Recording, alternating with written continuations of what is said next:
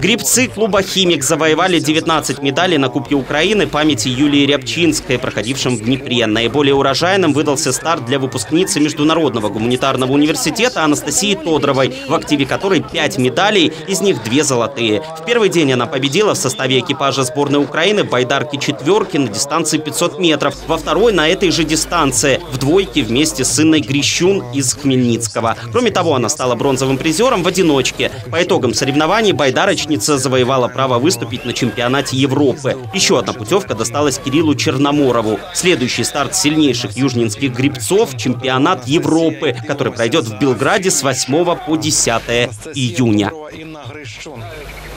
Бачимо